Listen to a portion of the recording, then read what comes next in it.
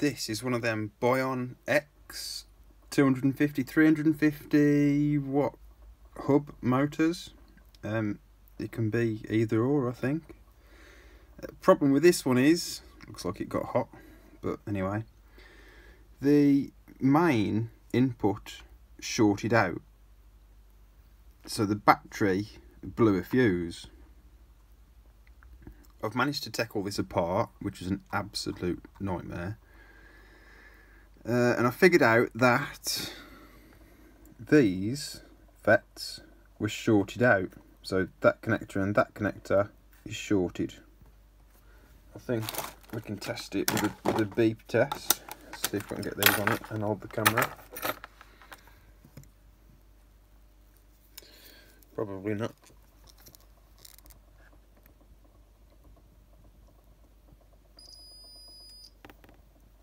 That's that one.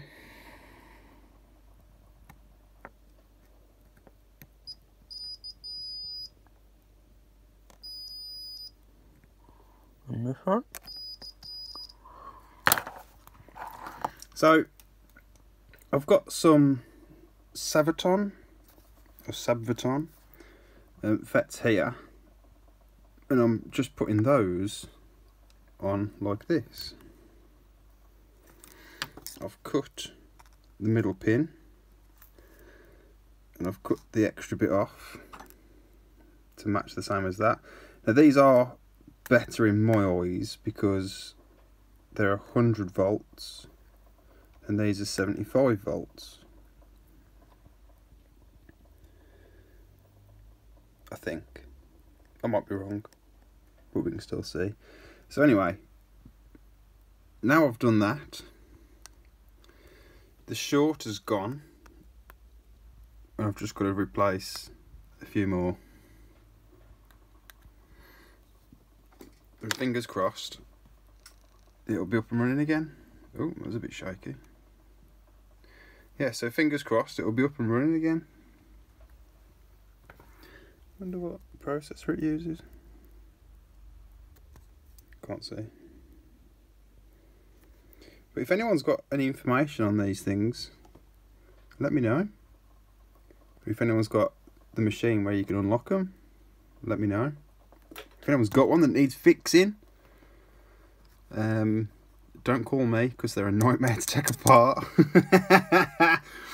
In fact, I, I probably would do it, but you're looking at like a 125 quid repair maybe, there or thereabouts. Um, yeah, because you've got to take the spokes out. You've got to take all the spokes out the rim. Then you've got to separate this. Then you've got to hit that with a big hammer and not damage these wires. Then you've got to order the FETs to replace the broken FETs with. Bit of a nightmare, but it's possible to do. So yeah, if anyone needs to do it, let me know. We'll sort something out maybe. Um, that's it for now. This is my little lockdown project. So, there you go. See you on the next one. Goodbye. Oh, hold on. Let's have a look. Shall we look around the other side? Oh, hold on. It's a bit loose. Stupid camera.